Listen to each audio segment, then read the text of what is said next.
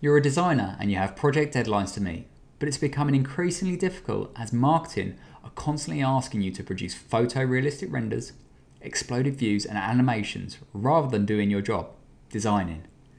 As you all know by now, SolidWorks is superb at producing these high quality deliverables, which is why these tasks have become your responsibility. But perhaps you don't have the time to do it, or you don't have the same creative eye as the marketing department. Well, what if you could enable marketing to produce this content themselves? Better yet, what if they could start producing this documentation earlier in the design cycle?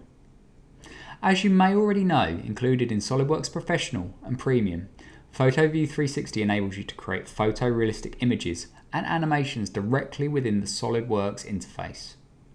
But did you know in 2016, SOLIDWORKS released a product called SOLIDWORKS Visualize, also included with SOLIDWORKS Professional and Premium, a standalone rendering tool of higher quality. What's great here though is it does not have to be installed on the same machine as SOLIDWORKS. Therefore your marketing team can install it on their own workstations. Extremely easy to use, you can open the SOLIDWORKS model and get to work. Simply set up your camera, paint your model and hit render. The results are superb. If you need to create animations, then it's an upgrade to Visualize Professional. If you need more than photorealistic renders and animations, then SOLIDWORKS Composer should be considered. As you can see, you can create higher resolution images, complete with arrows, bills of materials, and other annotations to add clarity to what you are trying to convey, making it perfect for producing images for instruction manuals. You can also create great vector-based outputs that could also be used in your instruction manuals. Alternatively, you can host these images on your website and build links to the next instruction or direct your customer to a web page of your choosing, making it extremely easy for your customers to interact with. Composer is also great for the creation of animations. The key thing here is you can include bills of materials, arrows and other annotations within your final video.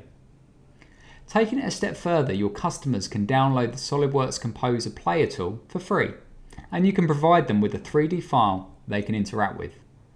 Alternatively, you can embed this file within a web page. One of the key things here is, regardless of whether you are using Composer or Visualize, there is a link to the original SOLIDWORKS file.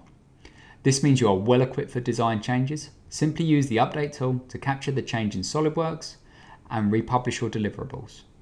This also means you can start producing this documentation earlier in the design process.